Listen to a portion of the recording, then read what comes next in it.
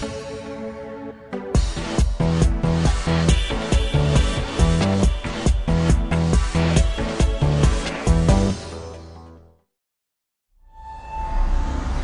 for joining us here on World Tech Update. I'm Nick Barber. Coming up on this week's show, OLPC jumps on the tablet bandwagon, Sony shows off a flexible display, and Ford uses gaming technology on the assembly line. We'll start this week, though, with Facebook and an apparent U turn on its privacy settings. Company CEO Mark Zuckerberg said there will now be a single control for content, more powerful controls for basic information, and an easy control to turn off all applications. The number one thing we've heard is that there just needs to be simpler ways to control your information. We agree. So today, we started rolling out three new things to address this. First, we've built one simple master control that you can use to set who can see all of the content you share on Facebook. Second, we've reduced the amount of information that has to be visible to everyone in order to use Facebook. Third, we've made it simple to control whether applications and websites can access any of your information. The changes are made in response to a backlash from Facebook members over changes the company made to the site back in April. This week, we caught up with one laptop per child founder, Nicholas Negroponte, and he said that the company will debut a prototype XO3 laptop two years ahead of schedule. Negroponte said it will eventually cost 75 US dollars. He said that the XO3 will run an ARM processor and that the screen would be 9 or more inches. The first prototypes would most likely run Google's Android operating system. And in video you'll only see here at IDG, he said it's ultimately an open source Linux laptop. And more important than anything else, and that's why I say God willing, you'll see uh, a dual mode display, one that works both in the sunlight and backlit. And to me, that's one of the biggest features we need for our kids. Our kids are outdoors a lot, and just having it backlit doesn't quite work for outdoors. And just having it reflective doesn't quite work for nighttime and he said a prototype with a glass screen will be on show at CES 2011, but the ultimate goal would be to make the device of 100% plastic. Sony's latest display prototype is thin and sturdy enough to be rolled up while still showing video images. The 4.1 inch screen has a resolution of 432 by 240 pixels. The screen contains newly developed organic thin film transistors that are used to make the driver circuitry to run the display. The transistors can be directly made on a flexible substrate and remove the need for rigid driver chips that would prevent the screen from being rolled. It's still an early prototype, and there's no word on when or if it might be a product.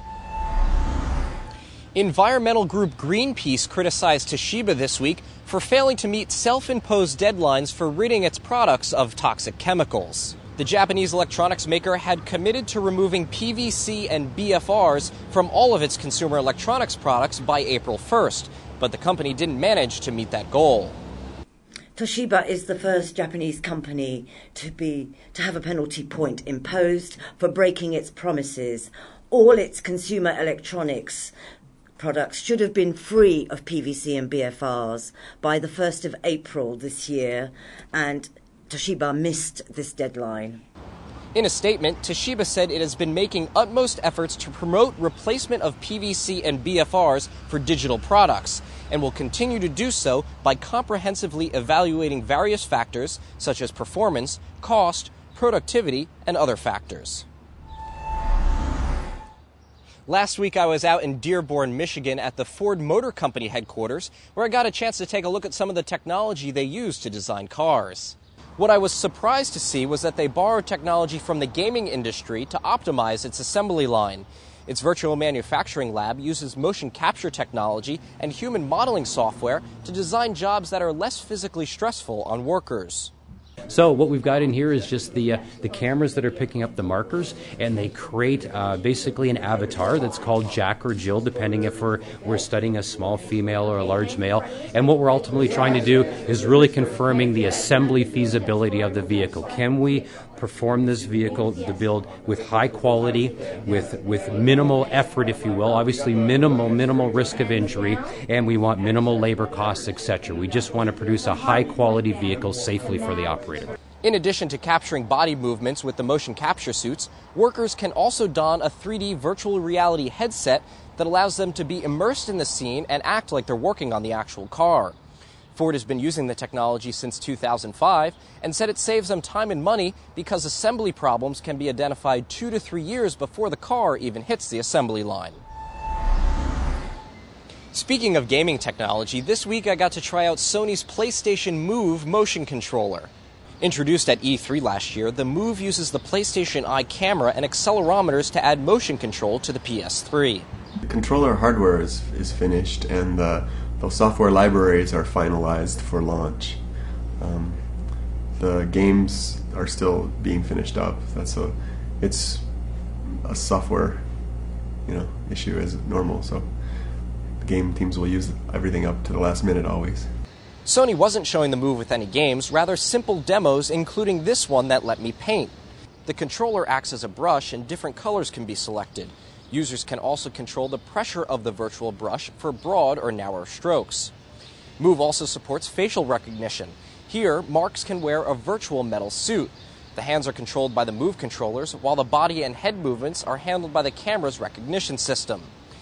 The controller itself is made of black PVC plastic, while the glowing ball on top is a squishy but very strong rubberized transparent plastic. It's lit by three different color LEDs that cycle through colors to differentiate controllers to the camera. We also noticed that the PS3 in use had E3 demos ready to go, but we weren't allowed to see them. Move will be on sale by the end of this year. Well, that's our show for this week. Thanks for joining us here on World Tech Update. Next week, Martin Williams will be covering Computex in Taipei, so be sure to tune in for all the news. To find out what's coming up on every week's show, follow us on Facebook and Twitter. As we head out this week, we'll leave you with some more shots from Ford. I'm Nick Barber, and for all of us here at the IDG News Service, thanks for watching, and we hope to see you next week.